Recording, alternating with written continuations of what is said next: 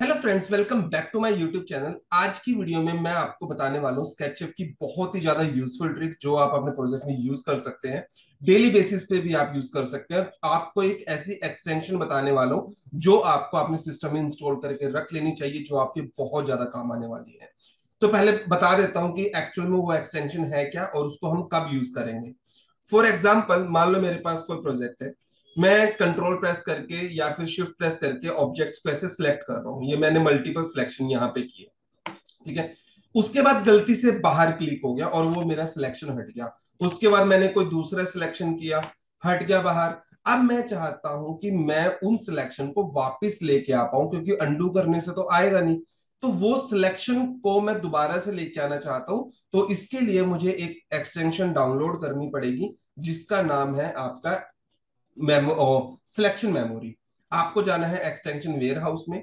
Extension warehouse में जाके आपको यहाँ पे टाइप करना है सिलेक्शन मेमोरी सिलेक्शन मेमोरी जैसे आप यहाँ पे टाइप करते हो तो यहाँ पे आपके पास एक सिलेक्शन मेमोरी के नाम से एक्सटेंशन आएगी। आपको उस पर क्लिक करना है। तो अब आप यहाँ पे देखोगे तो ये क्या करेगा? लास्ट फाइव सिलेक्शन को आपको वापस रिकवर करने में हेल्प करेगा। तो यहाँ पे भी देख सकते हो सिलेक्शन आपका लास्ट फाइव का है। इसके लिए आप इसे इंस्टॉल करें, जैसे आप इंस्टॉल करेंगे, अब आपने जो सिलेक्शन लिया था, अगर आपको वो वापस लेके आना है तो आप एडिट पे जाए तो यहाँ पे आपको एक ऑप्शन मिलेगा साइकिल प्रीवियस सिलेक्शन आप इस पर क्लिक करें तो जो आपका प्रीवियस सिलेक्शन था, वो आपका वापस आ जाएगा। अब इसके लिए आप एक शॉर्टकट भी असाइन कर सकते हो डी वो आप विंडोज़ पे जाए और प्रेफरेंसेस पे जाएँ, और यहाँ पे आपका शॉर्टकट पे क्लिक करें, और यहाँ पे लिखे साइकिल तो आपके पास ये आ जाएगा, मैंने एक डी असाइन किया हुआ है तो आप असाइन करते डी तो अब जैसे ही डी प्रेस करोगे तो प्रीवियस सिलेक्शन आ जाएगा कि ये सिलेक्ट किया था, फिर ये सिलेक्ट किया था, फिर ये सिलेक्ट किया था, फिर ये आया था। तो ओनली पाँच सिलेक्शन को रिकॉर्ड करेगा, तीन स्टेप हो गए हैं, ये फोर्थ स्टेप ये फाइव स्टेप और वापिस आपका ये आ जाएगा। क्लियर है?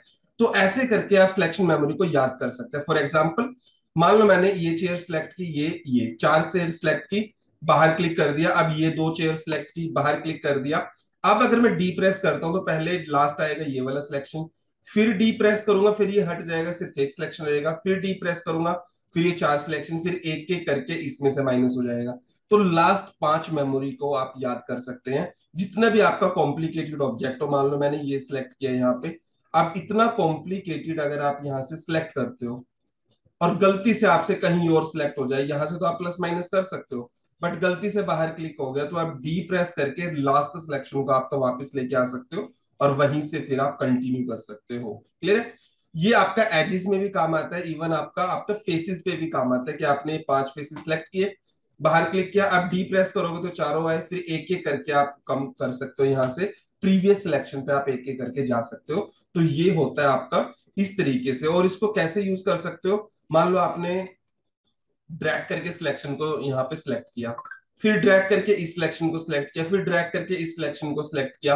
अब अगर आप डी प्रेस करोगे तो वो लास्ट सिलेक्शन पे दोबारा ले जाएगा। दोबारा से वो सिलेक्शन पे आपका जा सकता है। तो पाँच जो मोस्ट लास्ट के जो आपके पाँच वो हैं सिलेक्शंस वो उसको मेमोरी को याद रखेगा और वापस आपको जाने में हेल्प करेगा। तो काफ़ी यूजफुल आपकी ये एक्सटेंशन है, जिसको आपको डाउनलोड कर देना चाहिए, क्योंकि ये बिल्कुल फ्री है तो आपको अभी के अभी ये डाउनलोड कर लेना चाहिए। तो आशा करता हूँ वीडियो अच्छी लगी। अगर वीडियो अच्छी लगी प्लीज़ वीडियो को लाइक करें शेयर करें कमेंट करना ना भूलें। थैंक यू सो मच दोस्तों।